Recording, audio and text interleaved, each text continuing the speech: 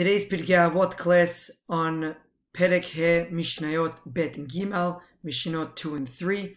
My wife and I have dedicated this class in honor of my grandparents, Lily and Nat Dweck, and Joyce and Mo Kishk.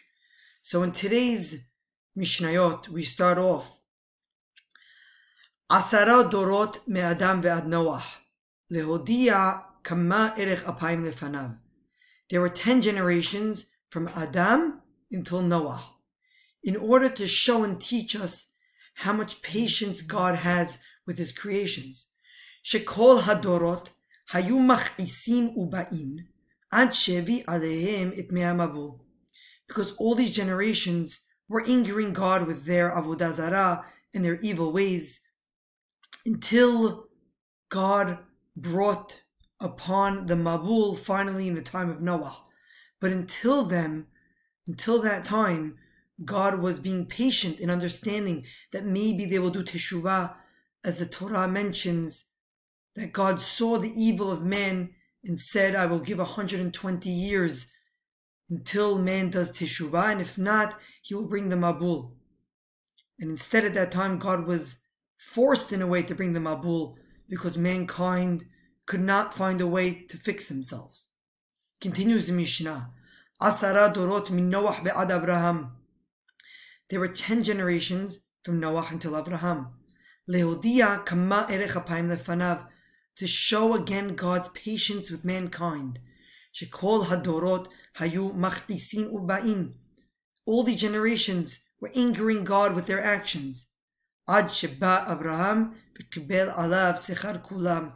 Until Abraham came. Until Abraham Avinu came and he received the reward of all of them. What does that mean that Abraham Avinu received the reward of all of them? He's talking about over here that Abraham Avinu got the zechut, the reward, the sachar of teaching the people of his time the proper way of God, and through that he allowed others to live. Because as we know, in Hakadosh Baruch Hu, hafes b'mitatan shel reshaim, God does not want and is not pleased by wiping out evil people. Rather, he wants to wipe out the evil ways of people. As we know, we are reading today, we read today in the Mizmor for Rosh Chodesh, Yitammu Hatta'in min. We want to remove the land of sins, velo hoteim, and not the sinners. And now we move on to Mishnah 3, as we just spoke about Avraham Avinu, who taught others about the way of HaKadosh Baruch Hu. And we speak here in this, this Mishnah about the Asara Nisyonot, about 10 times that, that Avraham Avinu stood through a test of HaKadosh Baruch Hu. Asara Nisyonot nitnasa Avraham Avinu alav shalom ve'amad bekulan. Avraham Avinu stood ten trials and he passed all of them. Lehodia kama hibbato shel Avraham Avinu shalom.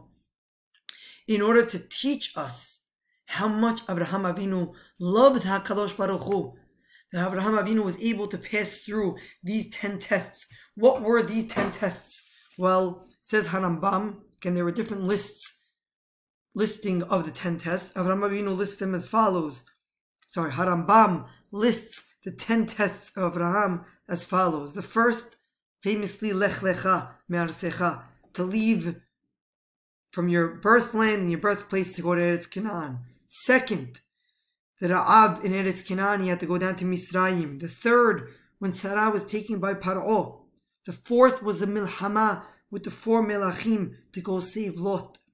The fifth was that he took Hagar as a wife after Sarah was barren for the 10 years. The sixth was the Berit Milah. The seventh was when Avimelech took Sarah. The eighth was kicking out Hagar from his home. The ninth was removing Yishmael from the home.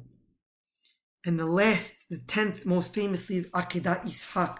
And Abraham Avinu had his emunah strong in HaKadosh Baruch Hu that even though he was being tested he passed each and every one of those tests throughout his life. And it's a great message for us to be able to learn from Abraham Avinu that based on our imunah and Baruch Hu, we can also stand through the tests that God throws at us and to be able to understand and view these as tests from God and stand through them to be strong, to be able to pass them and strengthen through them our imunah, our faith in HaKadosh Baruch Hu. Have a wonderful day and a Chodesh Tov.